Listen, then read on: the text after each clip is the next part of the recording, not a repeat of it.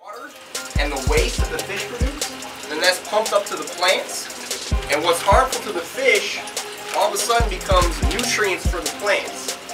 The plants take these, this waste of the fish and they turn it into nutrients, fertilizer. And that's all the plants use to grow. The plants, there's no soil, there's no additional fertilizer that you buy, nothing. It's just the water from the fish and the waste. We'll see if I got a second. Um, but um, the water starts out here, kind of overflows into this pipe right here. You can adjust that pipe to change the water height if you want the height to be higher or lower. But so it drains right from there, starts draining into each one of these towers. These are called vertical growing towers.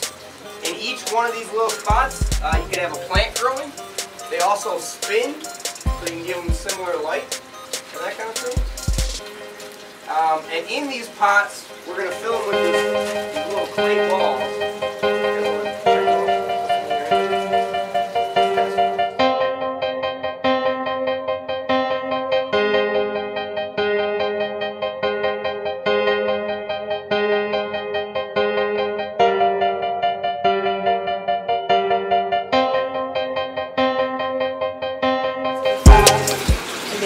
test them out with these, and they'll tell us like on here, like like what color, and then if it's up here, then it's good. But if you get all the way down here, then you gotta take the water out and change it.